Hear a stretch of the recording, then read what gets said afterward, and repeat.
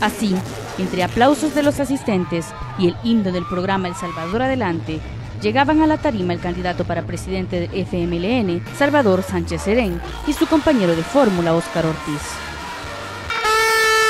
Luchó por hacer visible a los sectores más vulnerables de nuestro país, que por muchos años, por siglos, ignorados nuestros niños, nuestras mujeres, nuestros jóvenes, nuestros adultos mayores, nuestros discapacitados y ahora tienen futuro. El candidato para la vicepresidencia de este mismo partido también se dirigió a la población.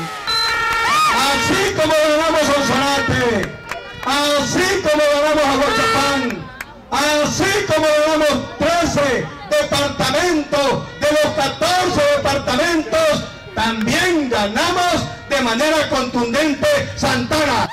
El apoyo de los integrantes de la alianza Gana se hizo visible en la tarima, donde se presentaron a los amigos de la prensa que siempre me preguntan por el expresidente Antonio Elías Saca. El día de noche estuvo con él en ese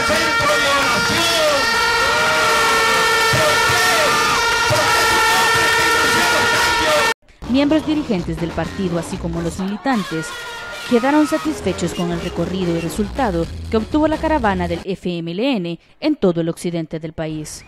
Con imágenes de Jaime Gómez e información de David Núñez, les informó Jacqueline Quintanilla a TV Noticias.